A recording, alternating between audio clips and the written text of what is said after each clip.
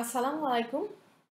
সুপ্রিয় শিক্ষার্থীরা, ঢাকা কলেজ কর্তৃক আয়োজিত অনলাইন ক্লাসে তোমাদের সবাইকে স্বাগত জানাচ্ছি। আমি নাজমুন করিম, সহকারী অধ্যাপক, ব্যবস্থাপনা বিভাগ, ঢাকা কলেজ। সুপ্রিয় শিক্ষার্থী, আমি আজ বিবিএ অনার্স চতুর্থ বর্ষের ব্যাংক ব্যবস্থাপনার দ্বিতীয় অধ্যায় অর্থনৈতিক উন্নয়নে বাণিজ্যিক ব্যাংকের ভূমিকা এ বিষয়টি নিয়ে আমি আজ আলোচনা করব।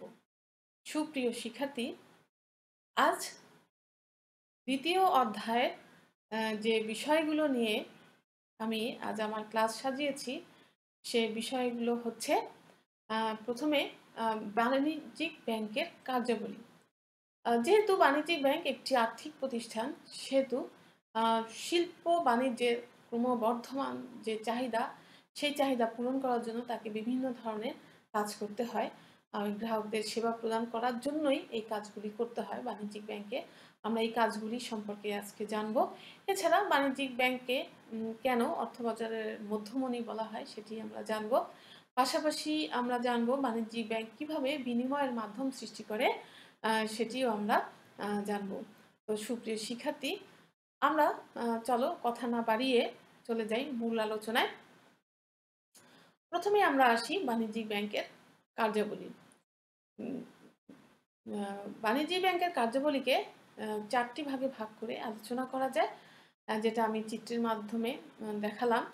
দেখাচ্ছি তোমাদেরকে প্রথম যে ভাগটি সেটি হচ্ছে সাধারণ সাধারণ কার্যাবলী। দ্বিতীয় যে ভাগটি সেটি হচ্ছে উন্নয়নমূলক কার্যাবলী। তৃতীয় ভাগটি হচ্ছে প্রতিনিধিত্বমূলক কার্যাবলী এবং চতুর্থ ভাগ হচ্ছে অনন্য কার্যাবলী। মূলত বাণিজ্যিক ব্যাংকের কার্যাবলীকে এই চারটি ভাগে ভাগ করে আমরা আজ আলোচনা করব। তো প্রথম যে কাজটি, সে প্রথম কাজটি হচ্ছে সাধারণ কার্যাবলী। তো সাধারণ কার্যাবলীর প্রথম যে কাজটা আসে সেটি, প্রথম যে কাজ, সে কাজটি হলো আমানত গ্রহণ।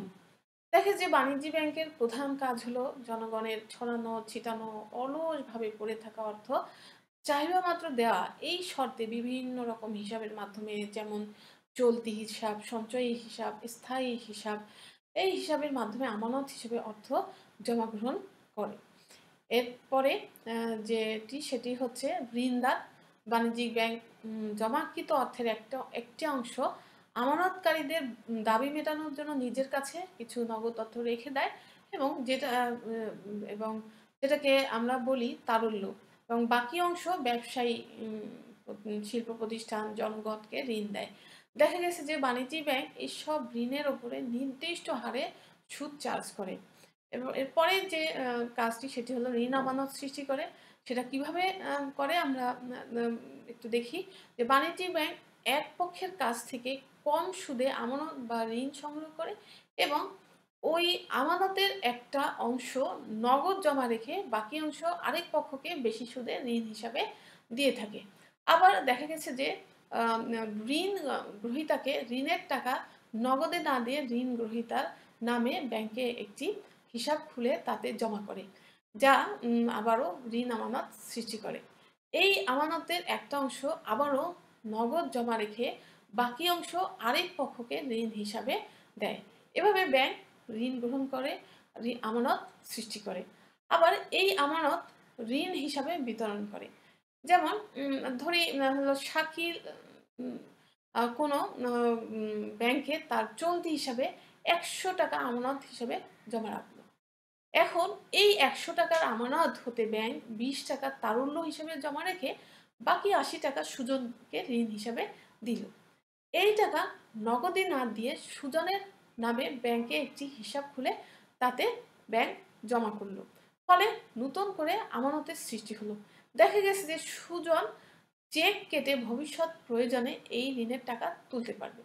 সুজনের হিসাবে আশি টাকা আমানত থেকে আবার টোয়েন্টি পার্সেন্ট টাকা অর্থাৎ ষোলো টাকা তারল্য সঞ্চিতি রেখে বাকি চৌষট্টি টাকা করিমকে ঋণ হিসাবে দিল, যা আবার আমানত সৃষ্টি করে।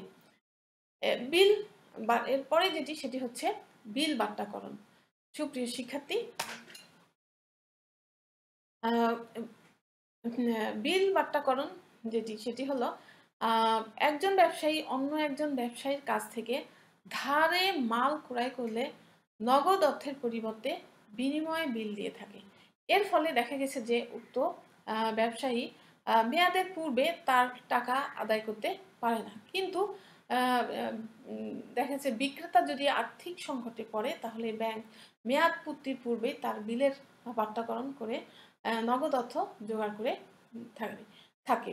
এরপরে যে উপাদান, তা হলো বিনিময়ের মাধ্যম সৃষ্টি, অর্থাৎ বাণিজ্যিক ব্যাংক চেক হুন্ডি বন্ড ঋণপত্র সিকিউরিটিস ড্রাফট পে অর্ডার এইগুলির মাধ্যমে বিনিময়ের মাধ্যম সৃষ্টি করে থাকে। আবার বাণিজ্যিক ব্যাংক দেখা গেছে যে গ্রাহকদের গ্রাহক বা মক্কেলের প্রয়োজনে এক স্থান থেকে অন্য স্থানে সহজে ও নিরাপদে অর্থ স্থানান্তর সুযোগ দিয়ে থাকে। দেখা গেছে যে মক্কেলের মক্কেলদের টাকা এক দেশ থেকে অন্য দেশে স্থানান্তর করে থাকে। এরপরে যে কাজ ছিল সেটি হচ্ছে উন্নয়নমূলক কাজ। উন্নয়নমূলক কাজের প্রথম যে কাজটি সেটি হচ্ছে মূলধন গঠন। আমরা জানি যে বাণিজ্যিক ব্যাংকগুলো জনগণের ক্ষুদ্র ক্ষুদ্র সঞ্চয়গুলো সংগ্রহ করে একত্রিত করে থাকে এবং দেখা গেছে যে এই তহবিল, এই তহ, এই মানে তহবিল হতে অর্থ বিভিন্ন শিল্প প্রতিষ্ঠান ও ব্যবসায়িক প্রতিষ্ঠানকে ঋণ হিসাবে প্রদান করে। আবার দেখা গেছে যে এই ঋণ ওই প্রতিষ্ঠানের মূলধন হিসাবে বিবেচিত হয়। আবার বাণিজ্যিক ব্যাংক ঋণ নিয়ন্ত্রণে দেখা গেছে যে সহায়তা করে ঋণ বাণিজ্যিক ব্যাংক। সেটা কীভাবে যে বিভিন্ন যে বাণিজ্যিক ব্যাংক যে যেটা কীভাবে করে, এটা হলো কেন্দ্রীয় ব্যাংক দেশের প্রচলিত বাণিজ্যিক ব্যাংকগুলোর মাধ্যমে ঋণ নিয়ন্ত্রণ করে। কেন্দ্রীয় ব্যাংকের পক্ষ থেকে বাণিজ্যিক ব্যাংকগুলো বিভিন্ন বিষয়ে নির্দেশ দেওয়া হয়ে থাকে, যা বাণিজ্যিক ব্যাংকগুলো মানতে বাধ্য থাকে। এরপরে যে কাজটি সেটি হচ্ছে বাণিজ্যিক ব্যাংক, কৃষি ও অন্যান্য ক্ষেত্রেও ঋণ মঞ্জুর করে থাকে। যে বাণিজ্যিক ব্যাংক দেখা গেছে যে সহজ শর্তে ঋণ প্রদান করে।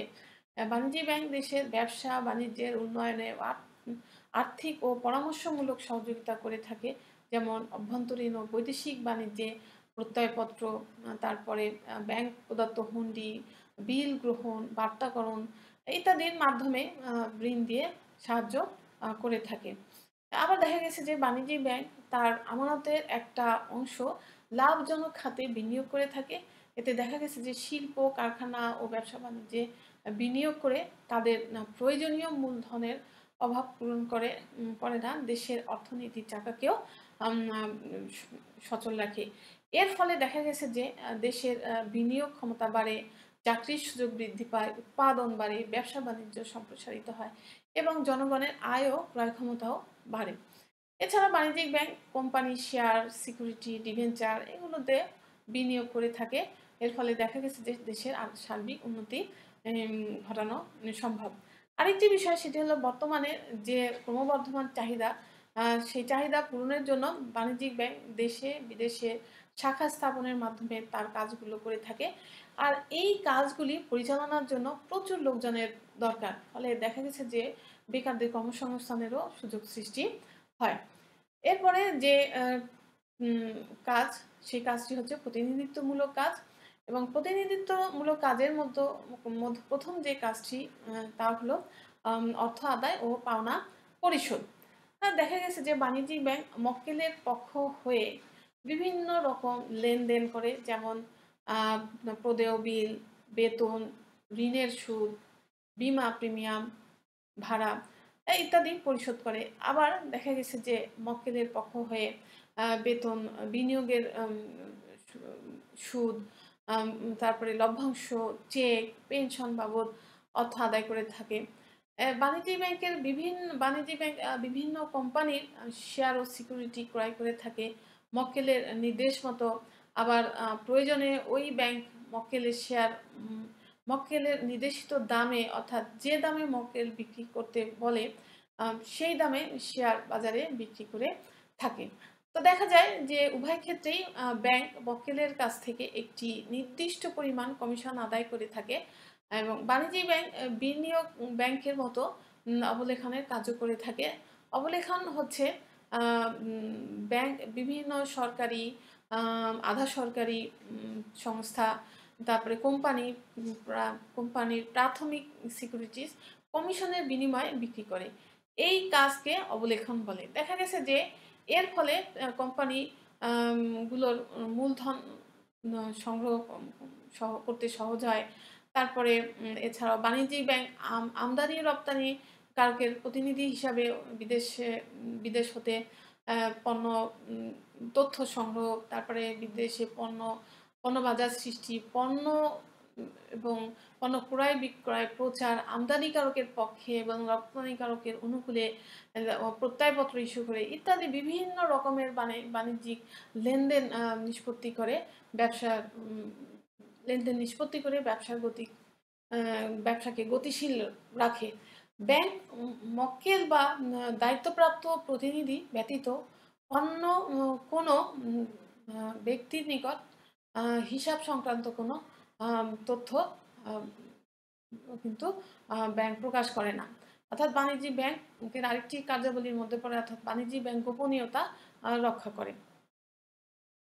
বাণিজ্যিক ব্যাংক আরও কিছু কাজ সম্পাদন করে, যেমন ভবিষ্যতে নিরাপত্তার জন্য আয়ের সামান্য অংশ যাতে জনগণ সঞ্চয় করতে পারে, সেজন্য বিভিন্ন যে বিভিন্ন দেখা গেছে যে জনগণের সঞ্চয় করতে পারে, সেজন্য বিভিন্ন উপায়ে সঞ্চয় প্রেরণা দেয় বাণিজ্যিক ব্যাংক।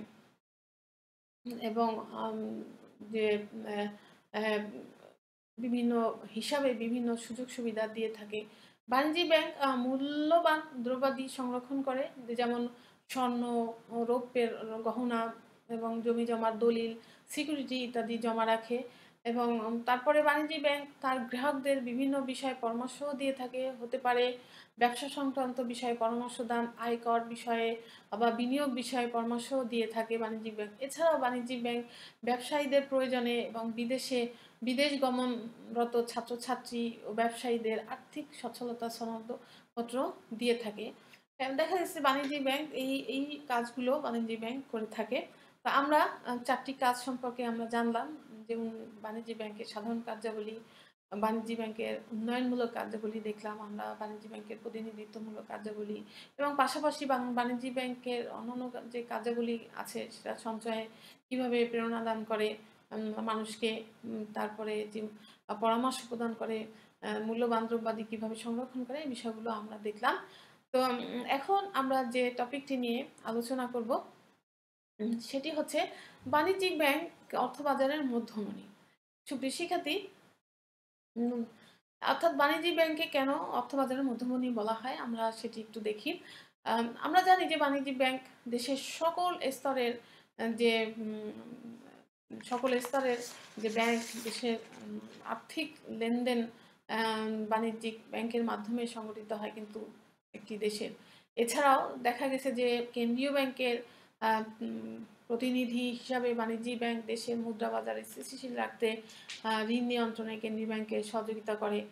দেখা গেছে সারা দেশে বিক্ষিপ্তভাবে ছড়িয়ে ছিটিয়ে থাকা অলস সঞ্চয় সংগ্রহ করে বাণিজ্যিক ব্যাংক এই সঞ্চিতি অর্থ বিভিন্ন শিল্প প্রতিষ্ঠান শিল্প প্রতিষ্ঠানে ঋণ হিসাবে দিয়ে তা মূলধন, মূলধনে রূপান্তর করে। ফলে দেখা গেছে যে শিল্প, ব্যবসা, বাণিজ্যে পর্যাপ্ত মূলধন সরবরাহ করে। আবার বিভিন্ন উপায়ে যেমন চেক, ড্রাফট, বিনিময় বিল, তারপরে দেখে যে প্রত্যয়পত্র, হুন্ডি, হুম, এগুলা, এই, এইগুলার মাধ্যমে দেশে, বিদেশে অর্থ স্থানান্তর ও লেনদেনের নিষ্পত্তি করে থাকে বাণিজ্যিক ব্যাংক। এরপরে সাধারণ জনগণের অর্থ সম্পদ, জনগণের মূল্যবান জিনিসপত্র, দলিলপত্র দিয়ে শেয়ার, সিকিউরিটি ইত্যাদি নিরাপদে রাখার ব্যবস্থা করে। দেখা গেছে যে বাণিজ্যিক ব্যাংক নিজে এবং শিল্প, ব্যবসা, বাণিজ্যে ঋণ সরবরাহ করে। বাণিজ্যিক ব্যাংক দেশে বিদেশে শাখা স্থাপনের মাধ্যমে তাদের তাদের কাজ করে। এই কাজ করার জন্য দেখা গেছে যে অনেক জনবলের প্রয়োজন হয়। দেখা গেছে এ, এভাবে ব্যাপক লোকের কর্মসংস্থানের সৃষ্টি হচ্ছে। তাহলে আমরা দেখতে পাচ্ছি কি? আমরা দেখতে পাচ্ছি একটি দেশের অর্থনীতির চাকাকে সচল রাখতে বাণিজ্যিক ব্যাংকের সাহায্য সহযোগিতা ছাড়া সম্ভব না। তো শিক্ষার্থী, তো আমরা বলতে পারি এই কারণেই বাণিজ্যিক ব্যাংকে অর্থবাজারের মধ্যমণি বলা হয়। তো এখন আমরা যেটি পড়ব সেটি হচ্ছে বাণিজ্যিক ব্যাংক কীভাবে বিনিময়ের মাধ্যম সৃষ্টি করে সেটি আমরা দেখব। সুপ্রিয় শিক্ষার্থী, বাণিজ্যিক ব্যাংক মুদ্রা ছাপাতে পারে না, কিন্তু বিভিন্নভাবে যেমন চেক, তারপরে হুন্ডি ইত্যাদির মাধ্যমে অর্থের বিনিময়কে সহজ করে তোলে। দেখা গেছে বিনা ঝুঁকিতে এক স্থান হতে অন্য স্থানে ইচ্ছা মতো টাকা, পয়সা আদান প্রদান করতে পারে। আমি এখন এই এখন এই মাধ্যমগুলো নিয়েই মূলত আলোচনা করব। বা প্রথম যে মাধ্যমটি আসে সেটি হচ্ছে চেক।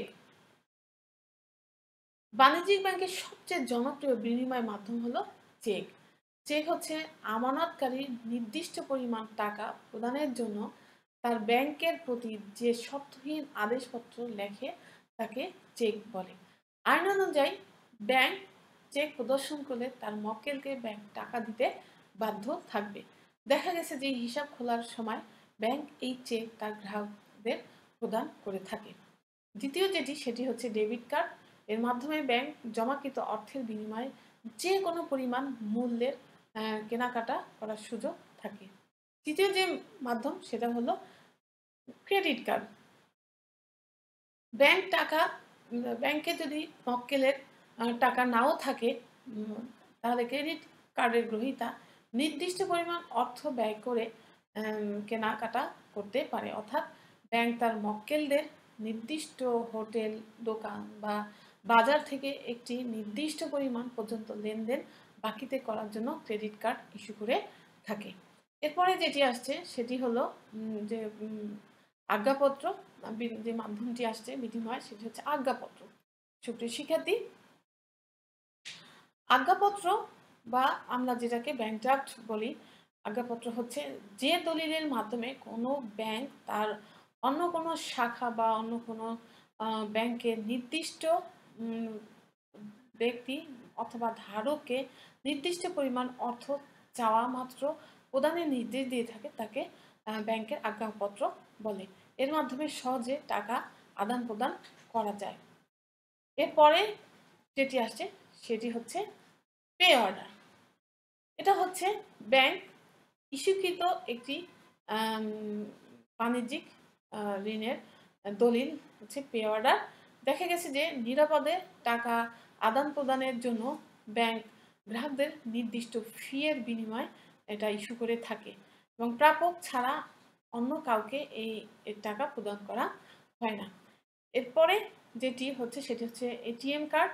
এই কার্ডও বিনিময়ের মাধ্যম হিসেবে ব্যবহৃত হয়। এরপরে যেটি, সেটি হচ্ছে প্রত্যয়পত্র। প্রত্যয়পত্রের মাধ্যমে ব্যাংক দেখা গেছে যে এই এই মর্মে অঙ্গীকার করে যে, যদি পণ্যের আমদানিকারক, রপ্তানিকারকের বিলের স্বীকৃতি প্রদান বা মূল্যের মূল্য পরিশোধ না করলে ব্যাংক নিজে বিলের স্বীকৃতি দিয়ে বা বিলের মূল্য পরিশোধ করবে। অর্থাৎ আমরা এইভাবে বলতে পারি যে পত্রের মাধ্যমে ব্যাংক আমদানিকারকের পক্ষে পক্ষে এবং রপ্তানিকারকের অনুকূলে আমদানিকৃত পণ্যের মূল্য পরিশোধের নিশ্চয়তা প্রদান করে। মূলত কেন্দ্রীয় ব্যাংক কর্তৃক ইস্যুকৃত মুদ্রাকে লেনদেনের সুবিধার জন্য বাণিজ্যিক ব্যাংক বিভিন্ন আদলে এই বিনিয়োগের মাধ্যমগুলো সৃষ্টি করে।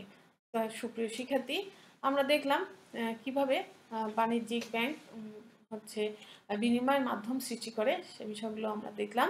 তো এখন যেটি আমরা আজকে যেটি, যে বিষয়গুলো নিয়ে আলোচনা করলাম সেই বিষয়গুলো হচ্ছে, বাণিজ্যিক ব্যাংকের কার্যাবলী এবং বাণিজ্যিক ব্যাংককে কেন অর্থবাজারের মধ্যমণি বলা হয় সেটি আমরা ব্যাখ্যা করলাম এবং বাণিজ্যিক ব্যাংক কীভাবে বিনিময়ের মাধ্যম সৃষ্টি করে সেটিও আমরা দেখলাম।